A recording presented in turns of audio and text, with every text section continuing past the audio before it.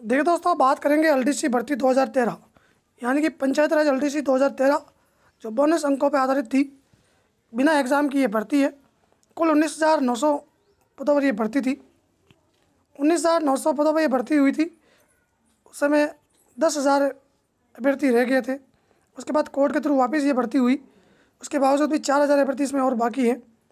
तो ये पुनः भर्ती अब चालू है और किस आधार पर ये जारी होगी? कौन इसमें आवेदन कर सकता है? तो आवेदन इसमें पहले हो चुके हैं।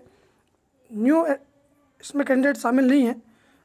बाहरी पास ये वैकेंसी है और फिर अनुभव के आधार पर नंबर जुड़ेंगे यहाँ पर।